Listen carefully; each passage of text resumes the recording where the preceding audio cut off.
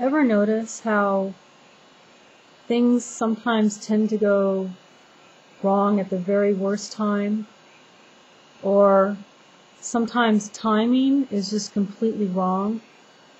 It's like everything is energy.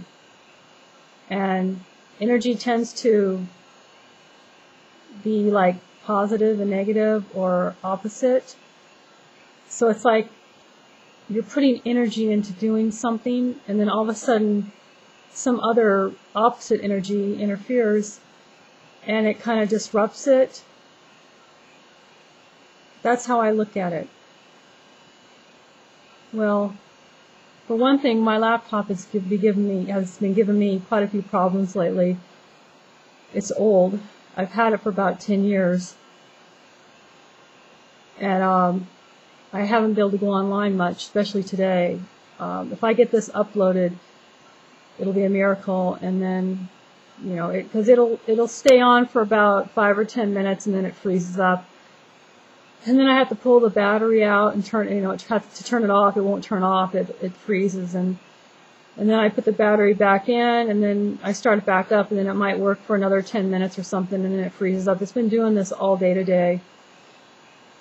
And the day before it did it, and then the day before that. And so I ordered one, and it's not going to be here, unfortunately, um, probably until Friday or Saturday. So it's like I'm kind of stuck.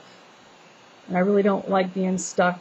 Um, I, I'm getting very. I just want to go somewhere. I don't know. I want to get away. Um, I can't really stay in one place very long. I mean, this is my home, and I, I do have a lot of things here I need to take care of. I have a lot of trees I planted, and I need to take care of all this stuff. But I mean, that's that doesn't mean I can't ever leave. Like that doesn't mean I can't ever go away for a while. And then the other day, or actually last week, I almost had my studio. I, I mean, I was sure I had it rented. I have a little studio in the back, and somebody wanted to rent it and um, he was pretty sure, and he was going to call me later, and he left, and then he came back about 10 minutes later, and he scared the shit out of me because he came walking up my, or he was, actually he came driving up, honking his horn at me, and then he pulled it up into my driveway, he got out, and he starts yelling at me, and I'm thinking, what did I do wrong? I'm thinking, did I do something wrong? He's like yelling at me saying, you don't exist, you don't exist. And he kept saying it over and over and I was really getting really scared. I'm thinking, oh my God, what happened to make him yell at, he was yelling at me saying that I don't, and I'm like, I'm thinking, did I say something wrong? Did, am I like in trouble or something? I didn't discriminate or anything. It was just some guy. I said he could rent it and I'm thinking maybe I don't know, maybe there's some weird law here and I'm getting in trouble or something because there's this other car. And I'm thinking, what if they're undercover cops? I don't, I don't know why. I mean, I, I don't like police and I don't like laws because you never know. I mean, maybe it's illegal to rent your room or something. I don't know. I'm thinking all kinds of weird stuff like, or maybe he's crazy and there was this other car and and I'm thinking, oh my God, what, what did I do wrong? What, what happened? And, and he's like yelling at me. He kept saying it over and over and over, and he wouldn't stop saying it. You don't, he was yelling, you don't exist. You, and I'm standing there and I'm like, what? What are you talking about? And he kept saying it over and over. And then finally he says, your neighbor here says you don't exist.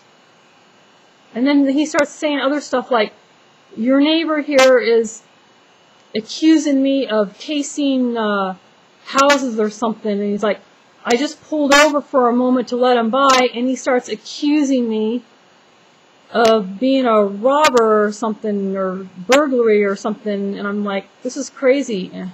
And then that the neighbor he was talking, I don't know, I didn't, I never met him. I just moved here. I mean, it's like I'm not going to go up walking up people's private driveways that say, you know, private property and oh, hi, neighbor. You know, I'm not like that. I'm not going to do that.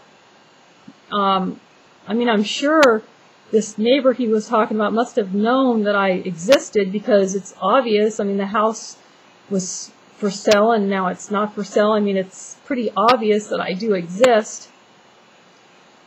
So I don't know. I'm not going to get into all the reasons why this happened and I'm not going to try to figure it out. Um, I just know people are nuts and it seems like I always tend to be right next to nuts. And even though I live way out here and even though he's way down the road from me like at least two acres away, you know, now I realize I have a, a nut for a neighbor because he's scaring away potential renters, and I really don't want to leave this place empty, alone, because I'm afraid that now, I now that I got a neighbor that's, you know, acting all weird and scaring people away, I'm like, what, well, what if, I don't know, I mean, just the other day somebody was like yelling, um, for some, some person I, I never heard this name, and I'm thinking, that's crazy because he's out there in front of my gate. Some other guy. This is I don't. This isn't like a neighbor. Just some